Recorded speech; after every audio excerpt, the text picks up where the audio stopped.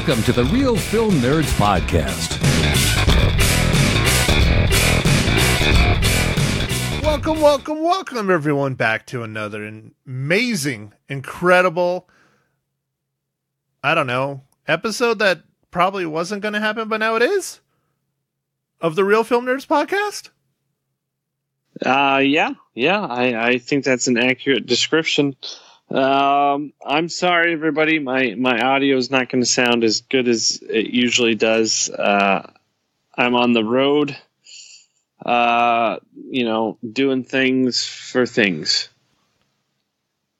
Are you out starring in a porno called Demon Hole?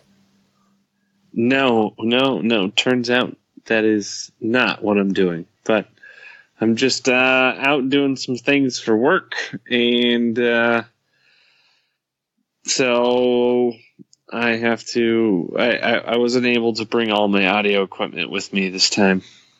So you're equipmentless. All right, good to know. Yeah, I'm equipmentless. So, everyone, I am your host, as always, Mr. Matt Hinshaw, based currently in Prescott, Arizona. And there is mysterious Mike Talent. Uh, I don't know. Where the hell are you, Mike? Uh, I I'm I'm somewhere.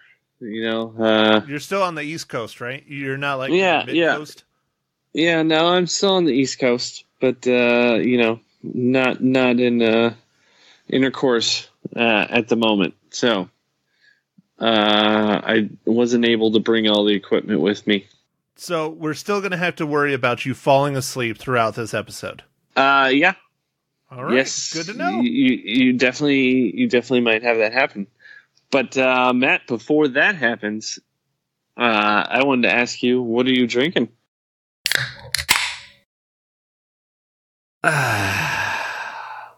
Well, Mike, thanks for asking.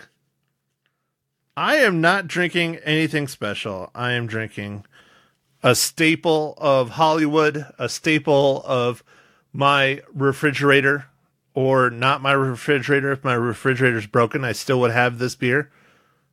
That is the Champagne of beers, Miller High Life. Awesome, awesome. You know, that's always a good beer. It's always a good one. So, Mike, what local IPA did you drive around in your rental car and hunt down and find in somewhere East Coast, United States? Well, uh, it's somewhat disappointing. Um, I was feeling like getting some local beer, but then all of a sudden I saw this beer and I was like, I really like this one. So I got the Fear Movie Lions. It's the Stone Double IPA, and it's just a fantastic beer. So, I'm sorry. It's okay, Mike. It's okay. I don't think you've drank that one on the pod yet. Not the double IPA. I think you've only drank their other IPA. Okay. All right. So we'll let it slide. But, you know, as you see, I'm a poor bastard. I just drink Miller High Life all the time. Yeah, yeah, yeah. Uh, I'm not. I'm not saying uh, IPAs are cheap because they're not. Oh, I never said that. You pay lots of money, lots and lots of money to make sure you get your nice bitterness on. Yes, yes. I like it super bitter. Well, all right, Mike. This week, we're talking about a tributary that I was highly, highly anticipating from the minute I saw the trailer that was released at one of the film festivals. I don't remember which one. Was it at Sundance or was it at uh, the um, uh, over there in Texas? Uh, what's that? It was one of the big ones. I don't remember. It was either Sundances or Tribeca or that uh, the. It wasn't South by Southwest. oh, okay. Uh, did they screen it at South by Southwest? I feel like they did. They might have, but I don't know. I maybe maybe not. I, I I'm surprised they didn't do it at like maybe like Monster Fest, which is also um in Austin, Texas, but it's uh not during South by Southwest. It's its own thing. That's the film festival that if I had money, I really would like to go and check out. I think that would be a really neat one to go to. Cause that one's mainly uh horror and sci-fi and uh stuff in those kind of genres. A hundred percent. Like that's all the movies they bring out. Wow, man. Uh, you know, you had me at horror. Of course, I know how much you love your whores. Horror. Not you. You and your, your your your. It's never gonna get old for you. That's like uh, that's what she said. It, yeah, you know, that's what she said never gets old, ever. I don't care. You know, I'm still going to be saying it when I'm lying in my deathbed next week. Uh, yeah. Are you, are you gonna have that uh on your your uh, gravestone? No, man, you know I'm getting my you know I'm paying someone to take my ashes into space and shoot them out towards where the Star Wars is. Oh, oh, okay, all right, gotcha. Did I just interrupt and that's what she said joke? You you did, but that's okay. No, no, no, no. You need to go back and do it again because I want to hear this. So on your on your tombstone, is it? I thought it was just gonna say that's what Yeah, maybe. she. Yeah, like like that T-shirt I have, the Thinking Man. Yeah, uh, yeah. That's what she said. T-shirt. Yeah. Well, if I ever if I have the money to get a tombstone, but no, I'm going with uh, ashes into outer space, and hopefully I will get to float all the way to Alderaan, or the remnants of Alderaan, shall we say? Oh, nice, nice, nice. All right, Mike. So let's go ahead. Let's rock this uh, rundown on. And now I will say the entire title right here, right now for everyone. But we are going to shorten it to either Wicked or Extremely Wicked for the rest of the pod. But today, for our tributary, we are talking about Extremely Wicked, Shockingly Evil, and Vile. Uh, yeah, Matt, that's exactly what we're talking about. And uh, this this uh, movie uh, is starring Lily Collins, uh, Zac Efron, Angelina Sarafyan, Sydney Vollmer, uh, James Hetfield, uh, Dylan Baker, Haley Joel Osment, and uh, Jim Parsons. It's directed by uh, Joe Berlinger. Its uh, writers are Elizabeth Kendall and Michael Werwie. It's about a courtroom frenzy ensues and sweeps 1970s America when a young single mother reluctantly tips the attention of a widespread manhunt towards her longtime boyfriend, Ted Bundy. All right, Mike. Well, I, we both have talked about this. We both watched the documentary series, even though it's a short series. I think it's four or five episodes. Yeah, I think it. I think it was about four. Yeah, Uh, yeah, I think it was four. The Ted Bundy tapes. Before Yes. watching this, and that's what got both of us stoked.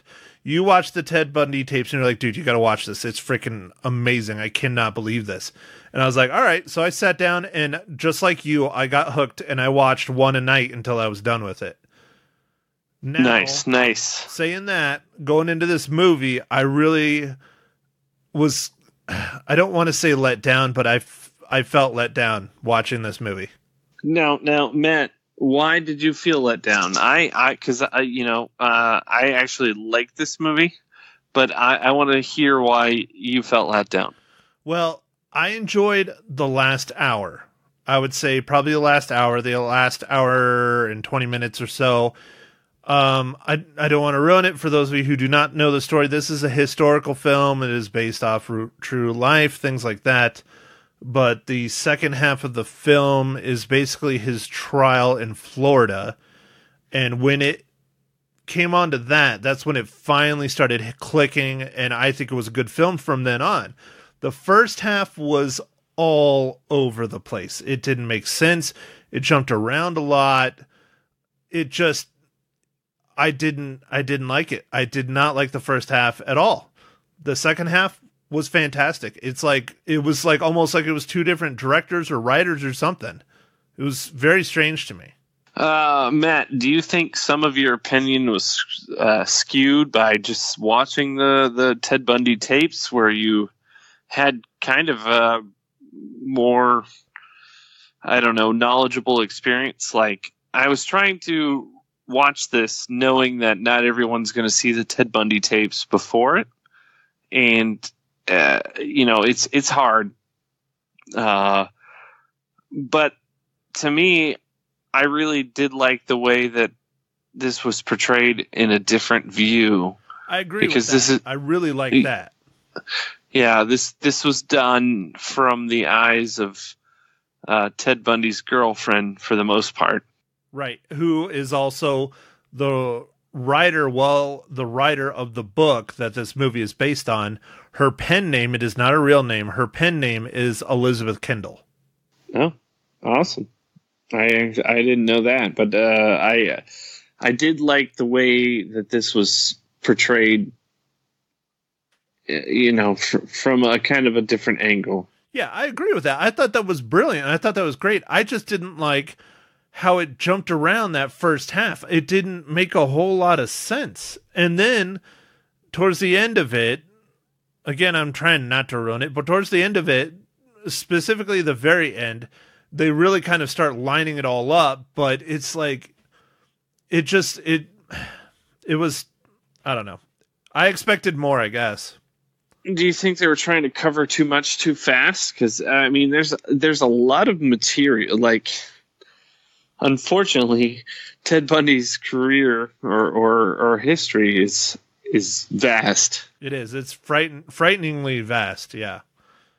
and it's hard to get everything. I think in a you know this is uh you know an hour and 50 minute or so movie in in even in the ted bundy tapes which is like four episodes of i think about an hour Yeah, most I think most It- of them were an hour, maybe some were a little over, but it's, a hell of a lot more than this movie. It's a lot of information and it's real quick. Yeah, even in the Ted So- Bundy tapes, it was really quick. i don't know. I think they were just trying to to fit that in there but uh um so matt i i'm i understand what you're saying but i still really like this movie. Uh i thought zac efron was pretty much perfectly cast as ted bundy because he was a kind of a handsome charismatic guy and there's so much film from from the Ted Bundy tapes and stuff. This was the first unfortunately, this was the first trial where it was open to the public, so everyone got to watch this on TV. This is Well, not so much open to the public. All trials are open to the public. Every single trial is open to the public. The problem is, is typically you have to go and sit in the courtroom. This is the first one where it was ever televised, where they allowed cameras in the courtroom nationally. yeah, no, I, I okay. So I said that incorrectly. It's Matt, all good, you man. said it. I just, you know, from my former life, I had to deal with cameras in the courtroom a lot, especially in Arizona, because as I was, you know, working here and uh, in the Tribune and things like that back in the day, there's been lots of battles of having cameras in the courtroom here in Arizona. And it finally got passed where they're allowed in there, but they limit them and you have to get the judges pass and you can't make noise. Anyways, it's, I don't want to go off too much, but I know a lot about this because I've had to deal with it. I've had to sit in courtrooms. It's boring as hell. Anyways, yeah, go ahead. Yeah, so this was the first time that they had a big national televised trial. And it's it was incredible in a couple ways to see him doing everything that was and how charismatic he was. Like I, I mean it really was hard for e- even me who didn't know the guy to be like that guy's a serial killer It's almost like it's like split personalities, but it's not because he knows what he was doing. He just never, ever, ever, ever admitted it until right before he died. right right and then uh it, it, yeah it was uh anyway i i just wanted to say that i i really i did like this movie you know could the some of the beginning stuff been done a little bit better yeah i think so but i i did i did like this movie quite a bit and uh would i recommend people seeing it I would say you, you, you should see it, but I mean, it's not the best subject. It's oh, I mean, it's a movie about a serial killer, so it's and it's real. It's hundred percent real. Uh, I mean, some of the story things I think are embellished, but for the most part, a lot of the content is real. We we have a lot of evidence. Yeah, yeah. The and there were some things where they. Um, w- I, I don't know if we'll ever get to this movie, but the movie about the hotshots here in uh, Prescott that passed uh, in that big fire, they did a lot of things, took a lot of liberties with that movie that upset a lot of the locals here, myself included. But uh, they did that with this film on a couple of the characters, like um, Haley Joel Osment's uh, character. He did not exist in her life. Period. They did that to try and help show how she used multiple friends, family, um, other relationships to get over uh, Ted Bundy, the main protagonist. The uh, the um, I'm forgetting the name they used in the movie. Uh, Lily Collins. Yeah, her her boyfriend. Yes, but she did not have. She had multiple relationships throughout that time. She did not have one relationship like that that throughout the whole thing. But the director, the director, of the writer, or whatever, was saying that Haley Joel Osment basically is a composite of multiple people that helped her through the time of Ted Bundy and trying to get over him and all that stuff. Oh, okay. All right, got it. So that's one thing that's not true. Okay. So, anyways, I just want to point that out. But no, um, I, you know, I agree. I think this is probably one of the best performances ever by Zac Efron. I think the casting was right on, and he comes off as charming. He comes off as, uh, you know, there's something else behind his eyes, kind of thing. And I think Zac Efron does that very well. Yeah. No, I I I, I thought he he pulled it off. Oh, it's such a kind of creepy story. Like he was so good at at manipulating people. Uh, Ted Bundy. Uh, he took advantage of their kindness, and it was it's awful. But man, the guy was. I guess he was extremely wicked, shockingly evil, and vile. Well, yeah, and I mean, though you know, the judge was the one that actually said those line that line, and I believe that was when he was sentencing him or something like that. But that was him, the judge, actually describing the uh, murders. Yeah, no, uh, I I think you're right. Um, I I uh, I do know from just recently watching the Ted Bundy tapes and watching the movie that uh, John Malkovich's character, which is uh, Judge Edward uh, D. Cowart, uh, said that he would have loved to see Ted Bundy as a lawyer because he thought he would have made a good lawyer, but you chose a different path. And, you know, I, I was just, it was, it was crazy. And that's true. That's a hundred percent true line that the judge said in real life, not just dramatized in the movie. No, no, yeah, no, it was, that was a hundred percent exactly what he said. Like it's real it's real interesting to see the judge, especially, you know, in the Ted Bundy tapes, where the judge is stating, you know, he doesn't have any animosity against him. I don't know how you don't have animosity against someone that butchered all these women. It's horrible, but he doesn't. He you know, he just and he tells him, you know, yeah, I would have loved to have seen you have been a lawyer. I would have loved to see you in my courtroom kind of thing. It's pretty pretty crazy on that end as well. Yeah, no, it, it is crazy. Well, Mike, speaking about crazy, how does extremely wicked, shockingly evil, and vile relate to the Marvel Cinematic Universe?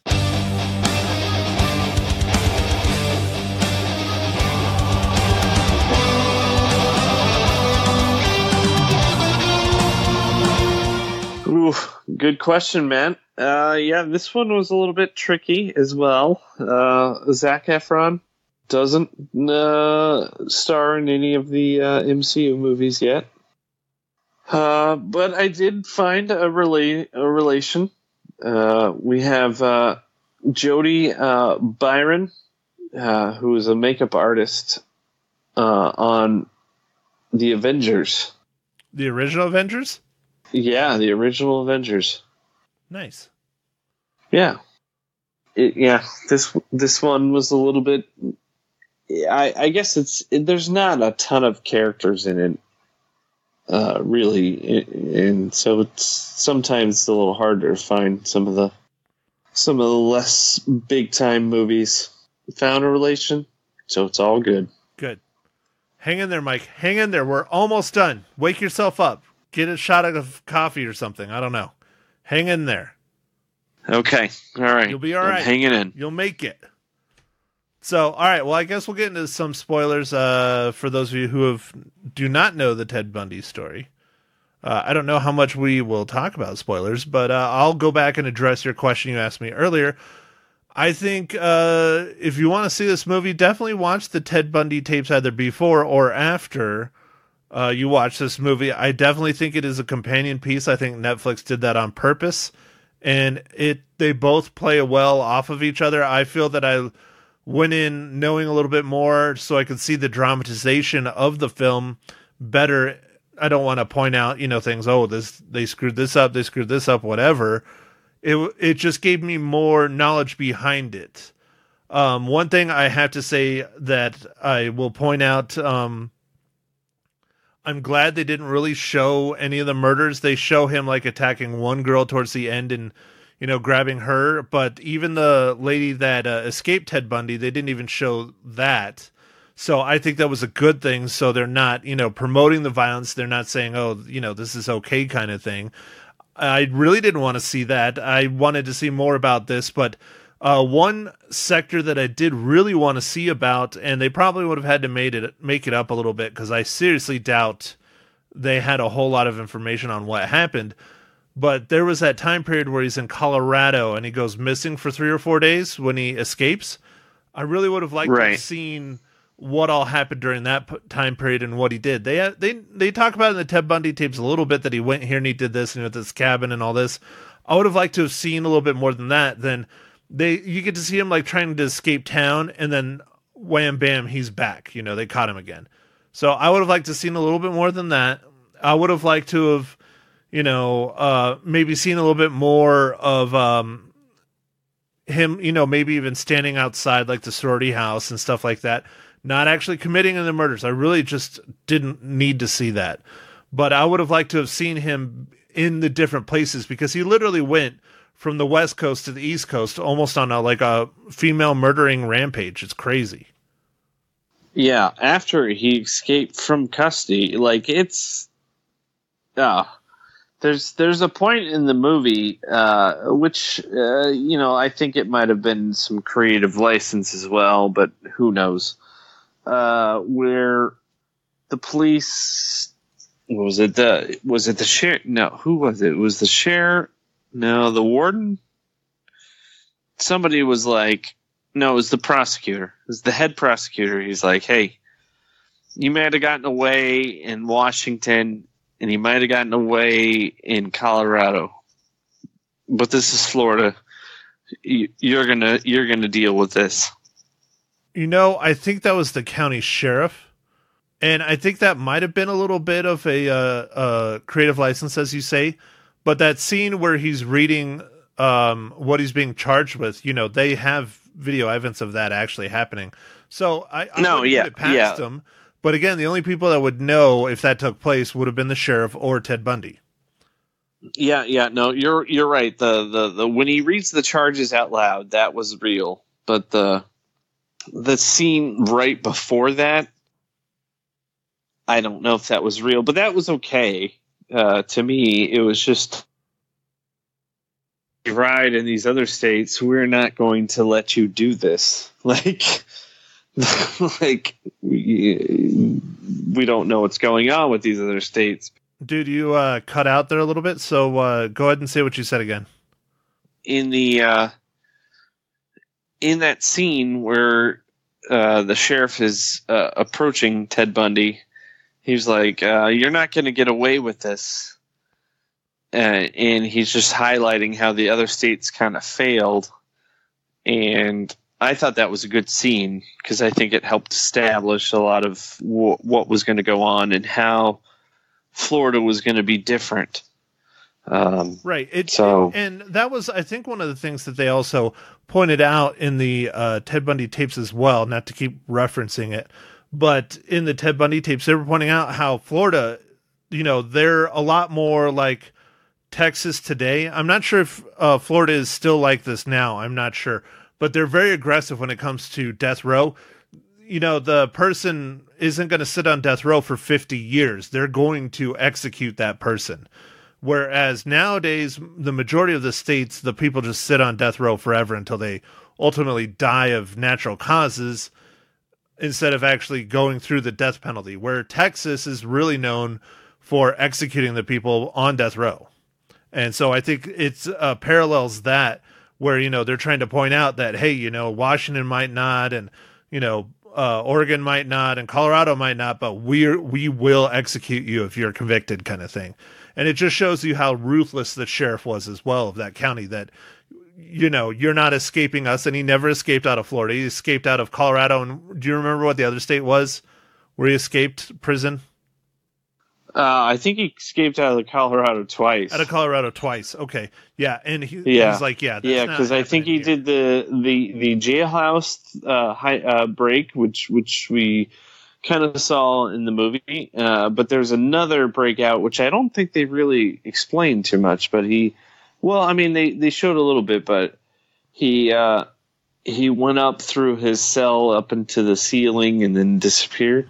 Yeah, there's yeah the the one in Aspen was the one where he jumped out of the second story window and ran off, and then the second one they go into a lot more detail in the tapes too. But he actually like steals like a hacksaw blade and cuts a hole in the roof and escapes out the roof or ceiling. Sorry, not roof. He, uh, he does, and then he steals. Uh, apparently, it w- it led to like a an area where the guards kept their stuff, and he steals like a guard's car, and like it.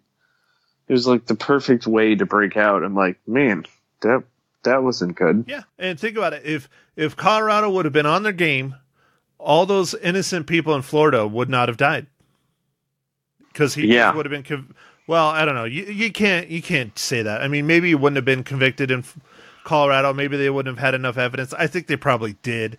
They sure as hell did in Florida. Yeah, yeah. Well, I mean, he.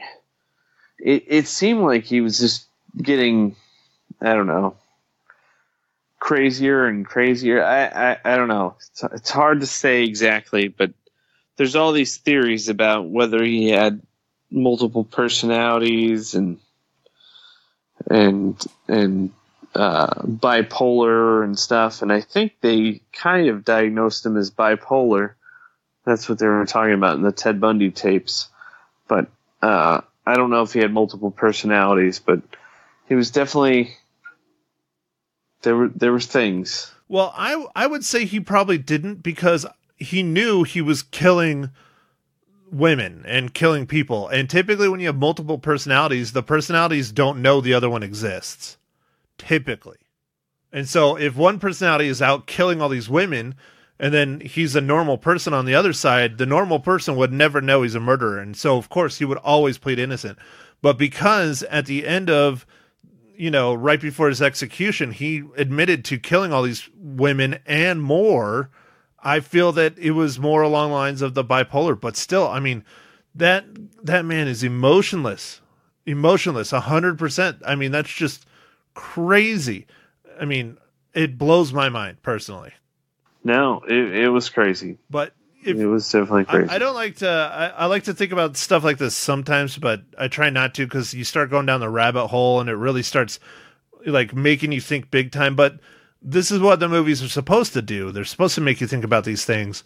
But if Ted Bundy would have been a serial killer today, because think about it, we haven't had a massive serial killer like this in a while. It's you know at least probably twenty years, maybe more and that's mostly because of the advancement of technology and a lot of it is also thanks to Ted Bundy as horrible as that sounds because back then when he was doing all these murders the states didn't really talk to each other they had the FBI and that was it and now if you commit a crime in one state even the counties, even the counties, that he he took advantage of the counties in Washington. Right They didn't take it. They didn't even talk to each other.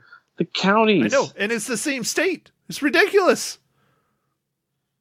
And so I think him doing this definitely changed how police work is done, especially at a level like that, where if something happens in another state in another county, they're letting everybody and their mom know. Uh, But especially thanks to cameras and smartphones and GPS and all that crap now. I mean, you can't, you know, they'll hunt you down in a heartbeat nowadays. So, you know, granted it was it was part of the times back then, but because of him doing all this, the police have changed dramatically on how they have to deal with murder cases, especially unsolved ones. Yeah. So uh, he took advantage of his times. They they even highlighted that in the Ted Bundy tapes that he, as he was studying law, he realized that nobody talked to each other, and he was kind of like, "Well, I can use this to my advantage," or this is what they they. This is all hypothesis but this is what they thought he he he figured out and and maybe he did maybe he didn't i don't know but it seemed like he did Well, and I wonder if that's one of the reasons why he decided to go back to school and pursue a degree in law. Maybe just to just to figure out more about Right. i mean how he could keep killing and not get caught. Yeah it might be Possibility. Well, all right, Mike. So I think uh, I think we've talked about Mr. Ted Bundy enough. Um, you know, I I recommend you watch this, but I think if you're gonna watch this film, it, definitely don't watch it around kids for sure. I mean, that should go without having to be stated, but some people are dumb. So definitely don't watch it around your kids. I mean, even though there's no murdering or anything, it's still just dark, dark, dark film and, and is based on reality. But I definitely recommend watch this and watch the Ted Bundy tapes. I think watching the Ted Bundy tapes and then watching this would be better. But just make sure you watch both of them because they are definitely companion pieces. Yeah they they are and i i do think that netflix released these kind of on purpose um the the ted bundy tapes were actually released i think on the 30th year uh anniversary of him being executed on the day Interesting. Interesting. Yeah. So I, I I'm with you, Matt. Uh, you know, this is definitely not for children, and even though the the the movie doesn't have any of the killing stuff, it's it's so dark. It's actually probably worse that you don't see it. You know, our imagination's so crazy. Uh, it's just implied, and then as it builds up towards the end, there, you're like you know, we both knew what was coming, but it was still interesting to see it portrayed in that way, or at least for me. I really liked how they did it. Yeah, I, I liked how they took the perspective of the girlfriend. I mean, she is the one that wrote the novel. And, you know, I mean, she, you know, um, another part that's not true, but uh, I'll talk about it as well. The end part where she goes and sits with him actually in the jail and talks with them, didn't happen. It was actually a phone call, but the, uh, the makers of the film said it's, you know, phone call isn't as dramatic as seeing the person, you know, actually right in front of you. Obviously, especially with a serial killer. Oh yeah, that that whole thing where it, I mean it's just so dramatic the ending. It was it was amazing. And I'm sure it's true to a certain level but how she pointed out you know she was the one that called the first person that called and said I think this is the serial killer that your guys are looking for. He looks a lot like my boyfriend kind of thing and then on top of it she goes I wish I would have called earlier because less people would have died and I'm sure she openly said that to him. I hope she did. And that just, I mean, that was just such a, so powerful to end this film. It really is. oh yeah. No, it was. You're like, oh man. Yeah, because I mean, I can't even imagine the kind of pain and anguish she's going through for the rest of her life. On top of it, I, they even allude to it at the end as well, where there's different times. I don't know how true it is, but they show him like acting like he wanted to kill her and all this other stuff. And I guess in real life, um, he did attempt to kill her a couple different times, but it wasn't anything like trying to cut her up or anything. It was like sneaky stuff. Like he tried to, he built like a fire and like blocked the chimney off or something, and when they were sleeping or something. And anyways, but it's just, it's just freaky. It's just super freaky, man. Interesting. Interesting. All right. Um, well, with uh, with the app, Matt, uh, what are you going to rate this movie? Well, Mike, I think this is a pretty good movie. I, I didn't think it was anything special. Again, I think the uh, Ted Bundy tapes personally were better. Um, uh, you know, the acting is what really did it for me, and that second half is what saved it. That first half was just brutal for me. It was just brutal. But I, I feel that it's just average. I give it a three out of five reels. All right, nice, nice. Um, yeah, uh, I I definitely like this more than you. Um, and uh, I'm going to give this uh, three and a half reels out of five. Uh, I don't think the first half was too bad, but you know, I I I understand. I understand what you're saying, but I, I didn't think it was too bad. It, it drove me nuts, man. It just did. The if the whole if they would have shot the first half in at least a little bit more aligned like the second half, but the second half is hard to compare because the second half is hundred percent the trial in Florida, you know, and uh, there's a clear start and there's a clear end when it comes to that because it's a trial. Yeah, yeah. No, you're right. You're right. But they had to get to that point, and they had to show some things and whatever. Right, right. And But- I'm not I'm not hating on it. I mean, I'm not saying this is a two or a one. I just, you know, the the thing that really sets it apart for me is the acting. This is specifically Zac Efron was f- fantastic. I mean, the story's good. The perspective that it came from is great, but overall, the movie as a whole is just average for me. Yeah. Okay. No, that's cool, man. Uh, we're you know we're not gonna like everything. All right, so Mike, you know next week is a big week, and I don't know how you're going to do it, but you have to see it. Dude, I don't know how I'm gonna do it, We have to talk about it, Mike. We have to talk about it. We have to talk about it. Uh, you know, you you can't let John Wick three go without. You know, we have to see it. I mean, my brother-in-law already has tickets. He bought them last week. He's going to one of the showings on Thursday to see John Wick 3 in IMAX. And I won't lie, I'm a little jealous. I'm I you know I I'm sorry that I'm so busy. I'm. It doesn't matter. We're gonna figure it out. If you don't we're gonna figure it out. I don't care. We're, we're gonna get to it. See John Wick 3. I don't care. We're gonna we're we're gonna get it. We're gonna get it done. We're gonna have John Wick three next week. Yeah, because I'm definitely going to do my darndest to see it either Thursday, Friday, Saturday, or Sunday this week. I, I will do All my darndest. Okay, so that's it. You heard it here. We're doing John Wick three next week. No fear, we'll get it done. Definitely. Uh, it's it's John Wick three. Was it Parabellum? Parabellum. Yeah. Yeah. So we're gonna do that.